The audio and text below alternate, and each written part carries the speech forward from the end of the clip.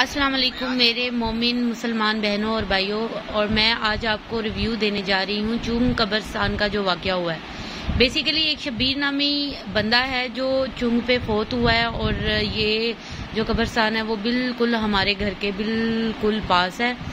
और मैं खुद जाके देख के आई हूँ। बेसिकली इसकी लॉजिक ये है कि इसके पास ही बिल्कुल, इस कब्रस्तान के बिल्कुल पास ही एक लोहे की फैक्ट्री है और जैसे ही वो वहाँ पे लोहे को कूटते हैं तो ऑलमोस्ट सभी कब्रों से जो है ना आवाज़ आती है। और पाकिस्तान की जो अजीम कौम है ना और आवाम है, उन्होंने इस न्यूज़ को इतना हाईलाइट किया और इतना तमाशा बनाया है कि इस पे अजाब हो रहा है।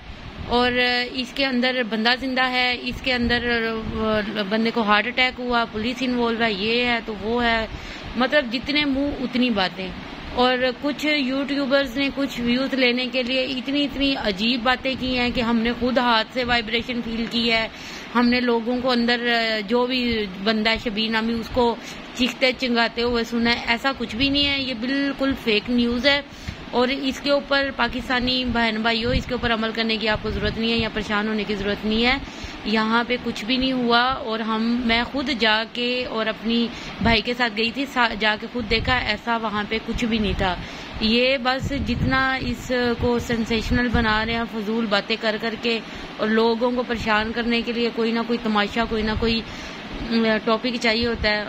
कभी टिकटॉक शुरू हो जाती है तो कभी पाकिस्तान में ये इस तरह की न्यूज़ और इस तरह की न्यूज़ पे नहीं करना चाहिए। अल्लाह ताला हम सब की आसानियाँ फरमाए।